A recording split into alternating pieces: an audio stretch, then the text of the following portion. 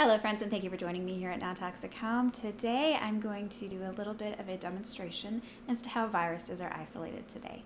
Now, if you choose to, you may consider this satire. All right, this is the culmination of a great deal of research that I have read, as well as contacts with some actual scientists. So, let's pretend this is our petri dish. All right. So, let's say Jane the scientist, Jane the virologist, wants to identify a new virus. And now I need to clarify this is not about any specific virus, all right? She wants to identify a new virus. She thinks that she may have discovered one. All right, well, how does that happen?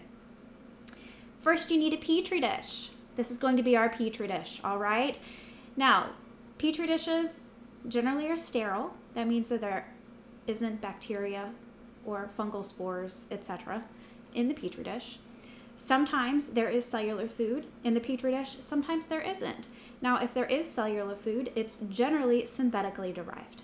So that's something to consider. So, in this petri dish, we're going to have some human cells. Okay? Now, we also are going to have some pig cells. Let's add some monkey cells as well. It's rarely just human cells. All right? Now, let's say a nasal swab sample is taken from a human subject who is sick. This represents the nasal swab. In that nasal swab, there will be, just one moment, fungal cells, or fungi, excuse me. Going to be some mold spores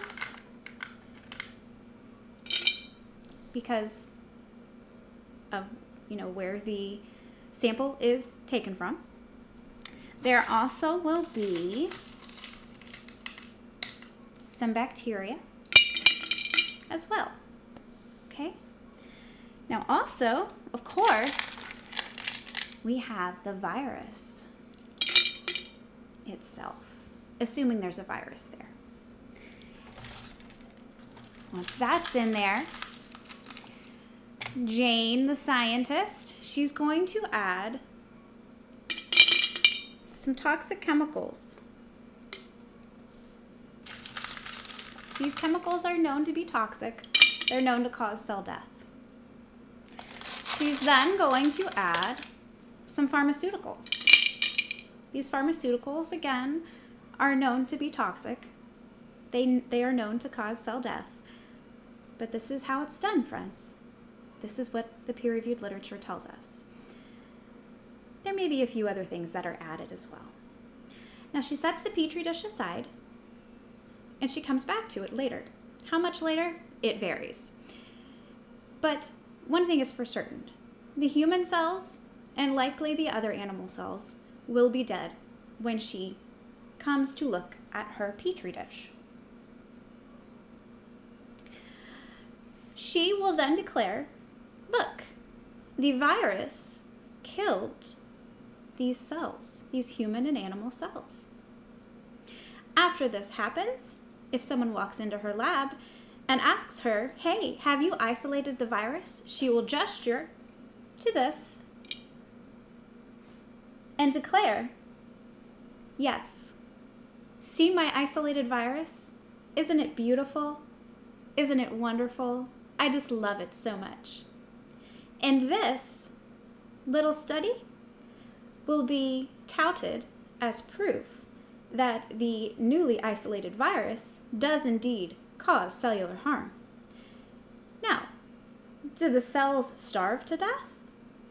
Because if you wait long enough, even if you provide some cellular food, eventually they'll die. Eventually they'll run out of food. Could it have been the synthetic food that killed them? We don't know. Could it have been the bacteria? What about the fungal spores? Could it have been the toxic pharmaceuticals what about the toxic chemicals?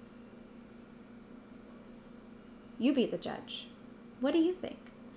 Does this look like an isolated virus to you?